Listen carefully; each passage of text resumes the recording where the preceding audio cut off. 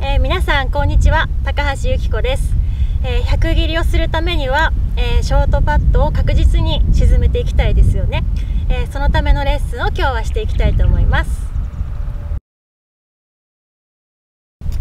え今回はショートパットを確実に沈めるためのセットアップとアドレスをお話ししたいと思います。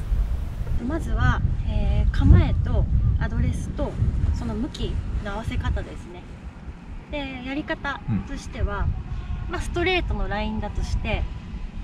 まあ、この真ん中からボールが入ると思うんですけど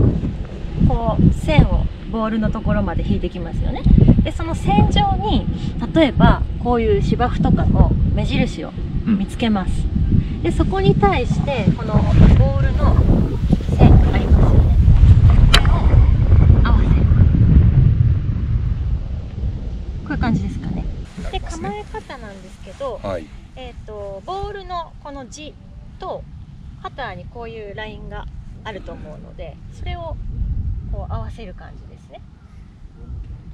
でまずヘッドをこう合わせたら左足のかかとぐらいにボールをまずセットしてその次にスタンスを取る感じです。でスタンスの幅はえっと、中1足分ぐらいで狭めの方がいいと思うので、はい、狭い方があんまり振り幅を取らないのでショートパッドは、えっと、ストロークが安定してくれるんですね。見た感じこれぐらいになります、はい、でそしたら最後にグリップを握る感じですね、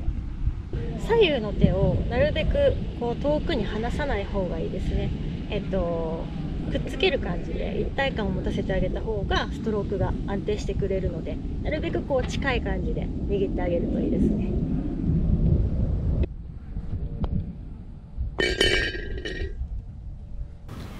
えー、皆さん今日のレッスンはいかがでしたか、えー、ショートパットを確実に沈めるためには打つ前の準備がとても大切なので是非試してみてくださいね。